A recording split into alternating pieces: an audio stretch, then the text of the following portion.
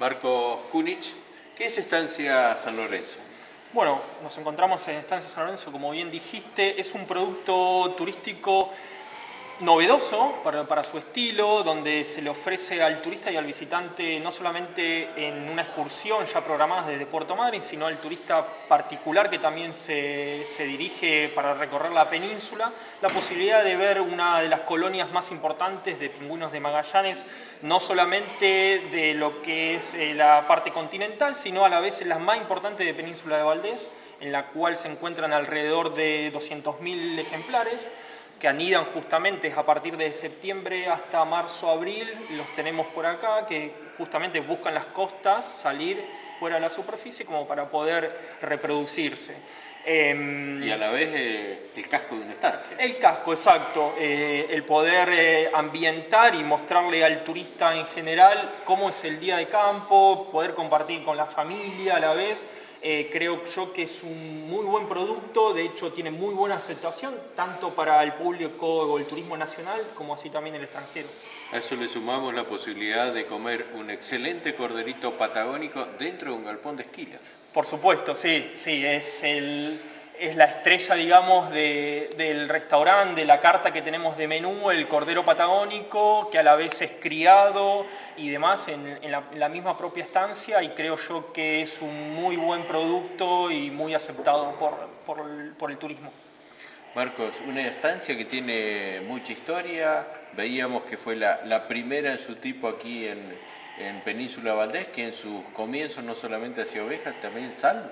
Exacto, exacto, sí, es la verdad que la historia misma de Estancia San Lorenzo es muy importante, siempre perteneció a la misma familia, tiene más de 100 años, eh, yo creo que en cuanto al marco histórico eh, es muy importante, no solamente con la parte natural, como hablábamos de la colonia de pingüinos, sino la parte histórica del lugar, con la la historia que se le cuenta de cuando se explotaba la lobería, que justamente era una parte legal, que, una actividad legal que en, los tiempos de la década del 20 al 50, 60 más o menos estuvo con la explotación de los lobos marinos, algo legal que era en su momento, hoy en día se lo contamos al turismo, al turista en general, como para poder ver ese cambio de mentalidad y conciencia sobre todo en la protección. Eh, no ocultamos la historia, sino que somos el presente y mostramos esa historia y cómo nos fuimos acomodando. Y hoy en día eh, el entorno natural es muy importante y lo cuidamos como tal.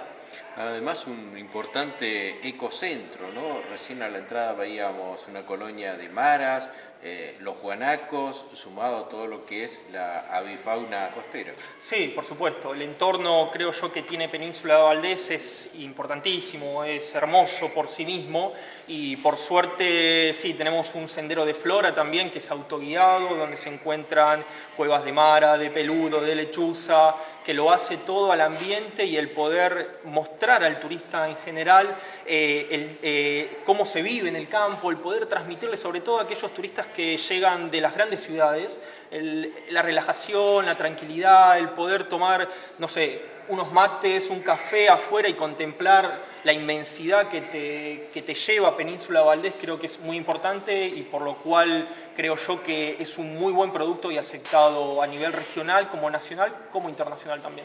Marcos, ¿cómo llegaron tus antepasados a este sector, a esta tierra, tierra de pingüinos, no? Exacto, sí, sí, sí. Eh, los antepasados, justamente, la, historia misma de Península Valdés es muy importante. Se comenzó con los arreos de oveja y luego el mismo pago del mismo arreo era con tierras. O sea, justamente como una forma de asentar y de ir poblando todos estos vacíos y en ese momento se los llamaba desiertos justamente como, como para ir poblando y formó lo que es hoy en día Península de Valdés. Otra cosa que rescatábamos tanto aquí como Pirámides como en Madrid es la calidez de la gente, cómo, cómo te reciben, cómo, cómo te atienden. Eh, no es el, trato frío que se le da a un turista en cualquier otro destino del mundo. Sí, por supuesto. Yo creo que la cordialidad, el estar, eh, el poder ser servicial es uno de los, eh, creo yo que una de las diferencias y más allá de, la, de, la, fauna, de la flora misma, yo creo que es una diferenciación del producto turístico y que engloba a toda una región y una comarca que se, justamente se caracteriza por esa calidez, esa amabilidad, el poder siempre ser abiertos a preguntas, el tratar de yo les digo por ahí a los chicos que, trabajan también acá, el poder transmitirle esa, esa inmensidad o esa, em, por ahí es medio complicado de explicarlo, pero tratar de hacerle entender justamente dónde vivimos, dónde estamos y que se puedan llevar la mejor experiencia, que es justamente lo, más agradable.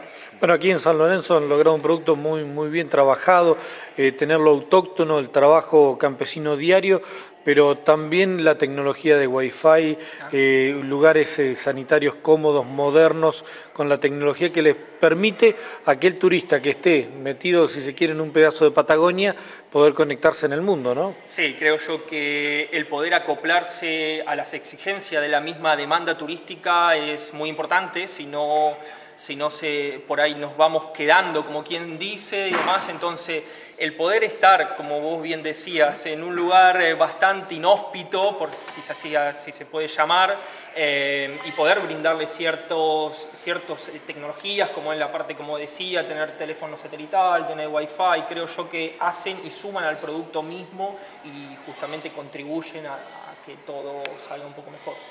¿Cómo hace la, gente para llegar? ¿A cuántos kilómetros estamos de De Puerto Madryn? ¿Cómo llegamos?